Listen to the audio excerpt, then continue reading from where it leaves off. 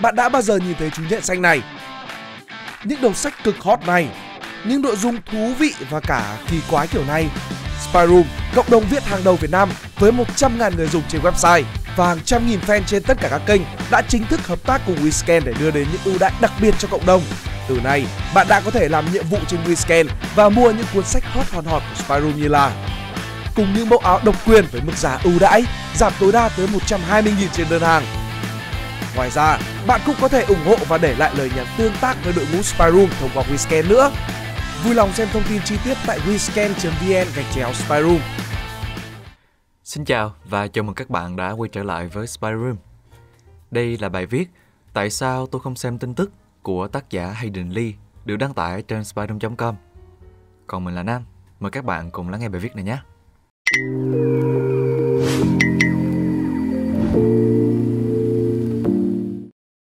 Ngày xưa, người ta đọc báo để có thêm kiến thức.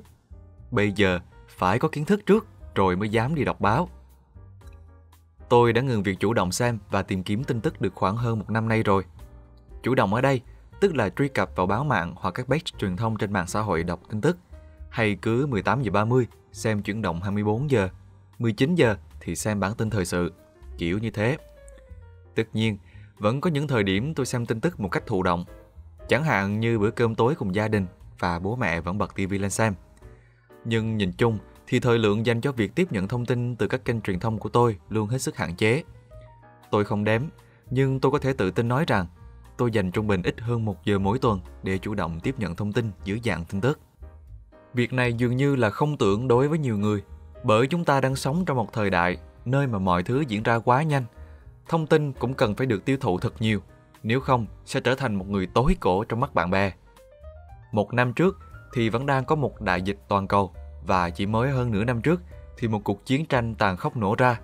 Ai ai cũng cần phải biết thật nhiều tin tức về chúng. Điều đó chẳng phải hợp lý và dễ hiểu sao? Biến đổi khí hậu, thời tiết cực đoan đang tàn phá nền văn minh. Chẳng phải chúng ta nên biết nhiều hơn về chúng hay sao? Rồi những vấn đề nhức nhối của xã hội như thiên tai, an ninh trật tự, tham ô, tham nhũng, drama người nổi tiếng. Nếu không cập nhật tin tức về chúng thì khác gì người trong hang.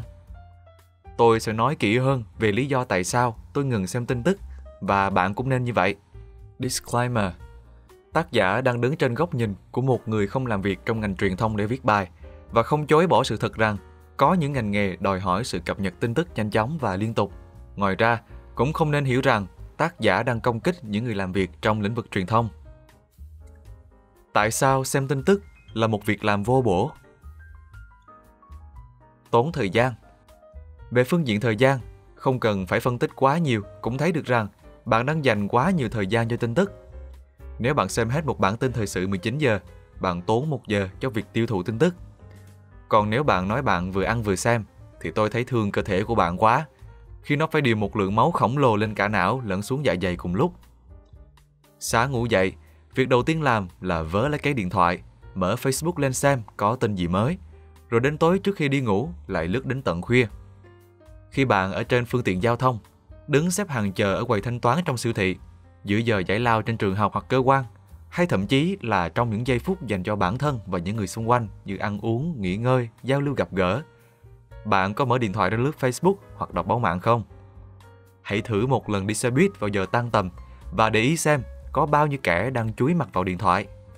Hãy thử hỏi qua bạn bè và những người xung quanh xem họ có bật tivi lên xem thời sự trong mỗi bữa ăn hay không.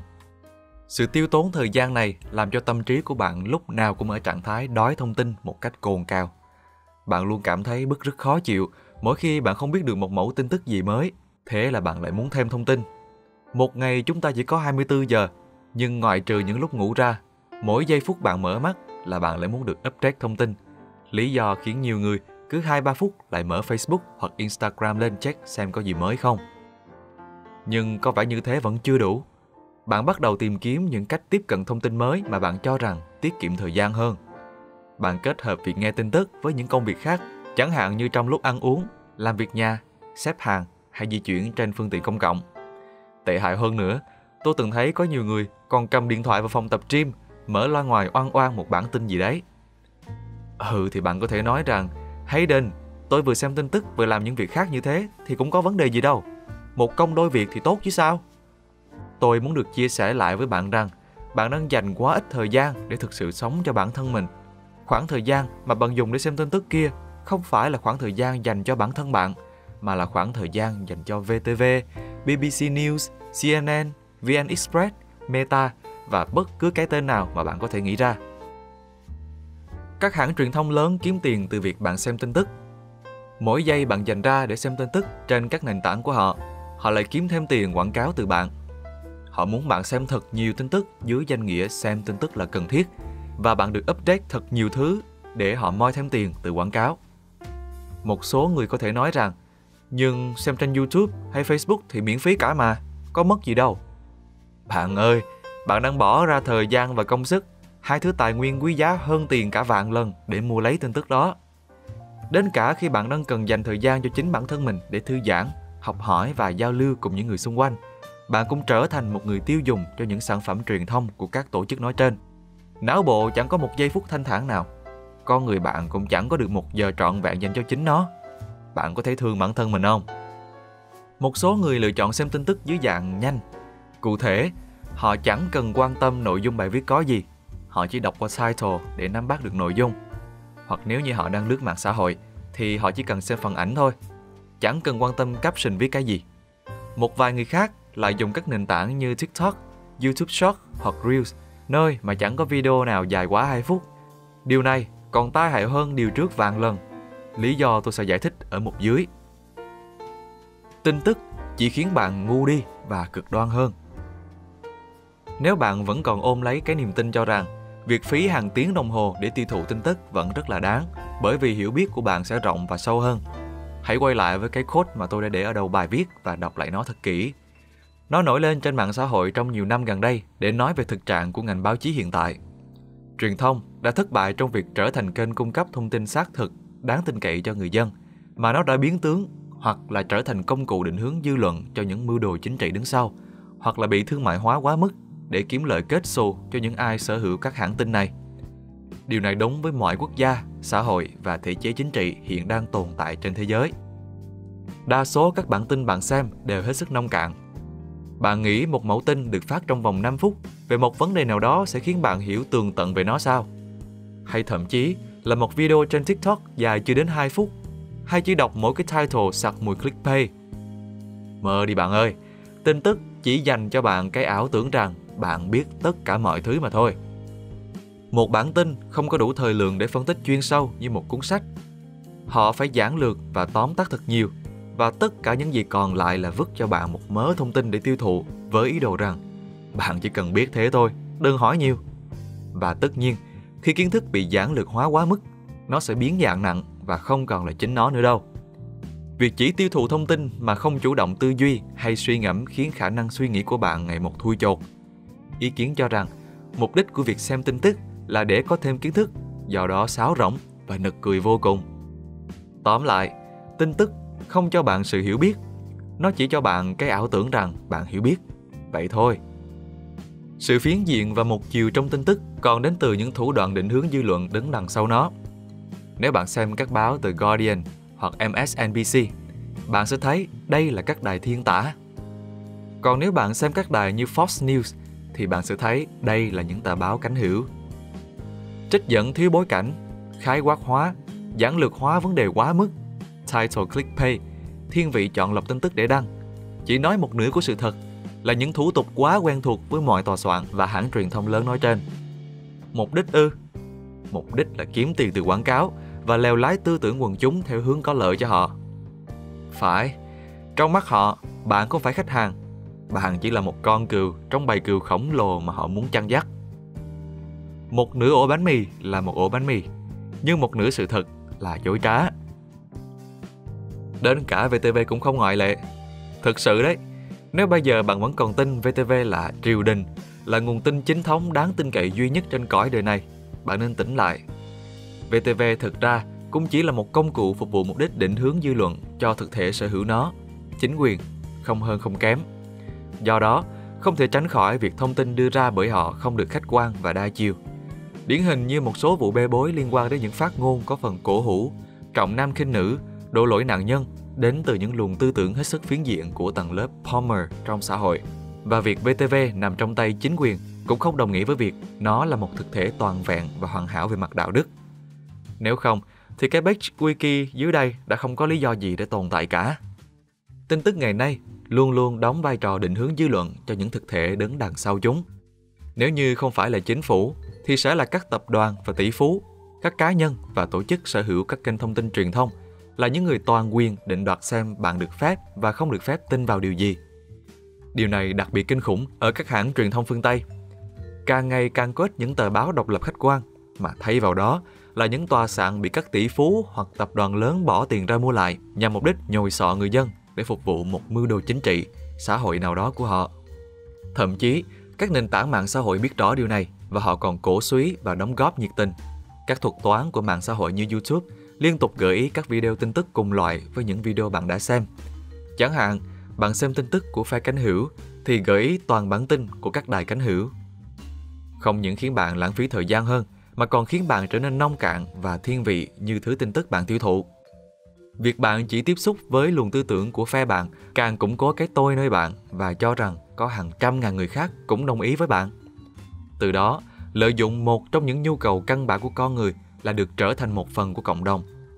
Tin tức khiến cho con người ta ngày một trở nên phân cực hóa, tư duy theo kiểu nhị nguyên lên ngôi. Không trắng thì phải là đen, không tốt thì phải là xấu, không theo tao thì ác lại chống lại tao. Kẻ thù của kẻ thù là bạn. Để chia rẽ xã hội thành các nhóm người với luồng tư tưởng giống nhau và ngày càng khó cảm thông cho nhau. Tôi đã từng thấy những buổi họp mặt gia đình tự dưng lại có một bầu không khí nặng nề khi có hai hoặc nhiều thành viên với tư tưởng chính trị đối lập nhau bắt đầu tranh cãi ngay trên bàn ăn. Tại sao lại để họ làm điều này với bạn và gia đình bạn? Tại sao bạn lại chọn làm một con cừu theo đuôi mù quáng thay vì là con đại bàng sải cánh tự do trên bầu trời? Tại sao lại hy sinh khả năng suy nghĩ độc lập, sự tự do trong tư tưởng và khả năng cảm thông với người khác để trở thành một tín đồ của những thủ đoạn chính trị đứng sau các bản tin? Tin tức ảnh hưởng tới tinh thần bạn. Có một câu nói bất hủ trong ngành truyền thông mà bạn nên biết. Plating is leading. Tức là một câu chuyện càng đau thương thảm khốc thì càng dễ thu hút người xem. Do đó, hầu hết những tin tức mà bạn đọc được đều là những tin xấu. Điểm qua một chút nhé.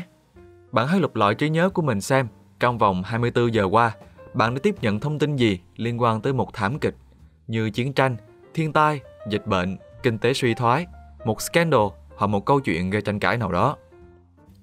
Bạn đã bao giờ thực sự cảm thấy vui khi xem tin tức này chưa? Hay tất cả những gì bạn cảm thấy gói gọn trong suy nghĩ cực đoan, lo âu, buồn, giận dữ? Kể cả khi bạn nói rằng tôi thích hóng drama, nhưng bạn có cảm thấy vui hoặc phấn khởi khi mà cái drama đó kết thúc và bạn chẳng còn gì để hóng nữa không? Một bản tin hoặc một cái newsfeed chứa toàn tin tức về chiến tranh, thiên tai, chết chóc, cháy nổ, tai nạn, tội phạm, scandal người nổi tiếng, liệu có ảnh hưởng tích cực được đến tinh thần của bạn hay không? Các nhà nghiên cứu đã tìm hiểu về vấn đề này và kết quả cũng không được mấy khả quan. Một bài viết của Anxiety and Depression Association of America đã chỉ ra rằng sự tiêu thụ tin tức quá nhiều có thể dẫn tới việc làm trầm trọng chứng lo âu của con người. Cũng dễ hiểu với hàng loạt những tin tức bleeding mà các hãng truyền thông ném vào mặt bạn hàng ngày. Sao mà bạn có thể cảm thấy không lo lắng, buồn bã hay tức giận được? Tin tức chẳng liên quan gì đến bạn hết. Có thể vẫn có một giọng nói nho nhỏ trong đầu bạn tự nhủ với bạn rằng Thôi, biết là tin tức ngày nay fake lòi, nhưng mà không xem không được, không xem thì làm sao biết hết những chuyện đang xảy ra. Đây chính là thứ mà các hãng truyền thông muốn bạn nghĩ. Bạn có thể thắc mắc về độ tin cậy của những bản tin mà họ đưa, nhưng bạn vẫn sẽ xem tin tức vì bạn sợ cảm giác làm người tối cổ. Bạn cảm thấy mình cần phải biết những câu chuyện đang diễn ra trên đời, nhưng sự thật là hầu hết những câu chuyện đó chẳng liên quan gì đến bạn cả. Có một cuộc chiến tranh thảm khốc ở một quốc gia Đông Âu nào đó mà trước đây có khi bạn còn chẳng biết là từng tồn tại trên bản đồ. Điều này chẳng liên quan gì đến bạn cả. Nạn đói ảnh hưởng đến tỷ tỷ người ở châu Phi. Điều này chẳng liên quan gì đến bạn cả. Một ông quan chức nào đó vừa bị kỷ luật vì vi phạm gì đó. Điều này chẳng liên quan gì đến bạn cả. Có ông giám đốc cặp kè với cô ca sĩ sau khi ông này vừa ly hôn và bị lộ clip nhạy cảm. Một lần nữa, điều này chẳng liên quan gì đến bạn. Hầu hết những gì bạn thấy ở trên bản tin đều chẳng tác động trực tiếp đến đời sống của bạn một chút nào. Việc biết hay không biết những sự kiện đó sẽ không đóng góp được gì nhiều cho bạn. Hơn nữa, có nhiều tin tức mà có lẽ bạn đã biết rồi hoặc bạn biết sẽ phải làm gì rồi.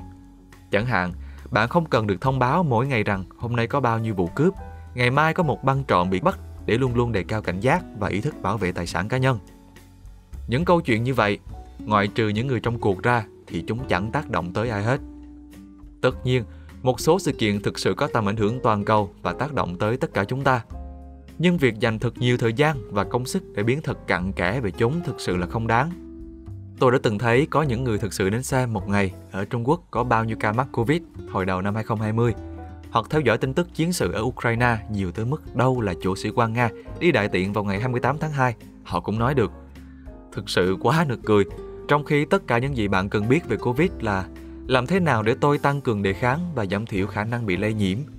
Còn với câu chuyện Ukraine thì ảnh hưởng của nó lên nền kinh tế thế giới cũng như sự tăng giá nhiên liệu hoặc thực phẩm sẽ tác động tới tôi ra sao.